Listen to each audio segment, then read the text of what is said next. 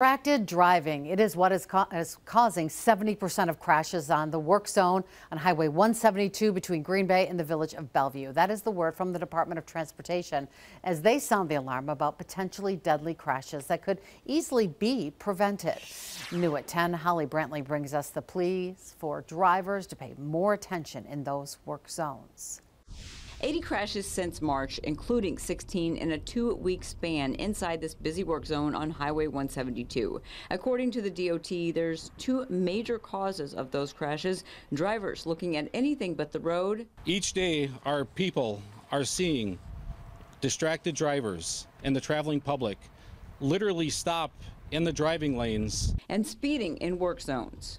Yesterday, in about a five-hour period, law enforcement officers conducted 35 traffic stops of individuals going 15 or more miles per hour over the posted speed limit. This is unacceptable.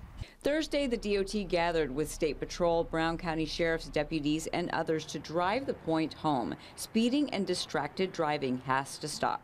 In a brief moment that a driver looks away, the vehicle travels the length of a football field without the driver actually knowing or seeing what's in front of them. These eight cones representing the number of work zone deaths in 2022, a major concern considering the number of crashes nearly doubled in June of this year versus last year, saying the difference between life and death literally comes down to whether you're paying attention behind the wheel. That goes for both workers and drivers. We're asking you, work with us, look for workers, there's not always a lot of space between the work area and live traffic. Please be considerate and aware that workers may be adjacent to you. For some here, it's personal. My son Scott works out on these highway crews and is protected by these orange barrels that you see. We are seeing distracted drivers out there.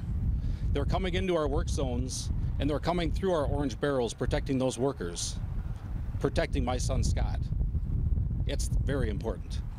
They say these huge signs here are out for a reason, saying that drivers who watch their speed and limit distractions can more quickly react in changing work zones. The DOT just unveiled a new tool called Guardian Lights to improve visibility of highway workers. They are also showing off another device to serve as a buffer meant to lessen the impact of a crash. But the State Patrol says it's not enough. They are counting on drivers to do their part as well. One of our most important protections for workers the, is the statewide ban on handheld cell phone use in work zones. The goal is to keep every driver's eyes focused on the changing road ahead, not on their phones. The message overall from the DOT, they say drive like you work here. Slow down, phone down, eyes on the road, easy steps that could help us all get home safely. In Brown County, Holly Brantley, Action 2 News.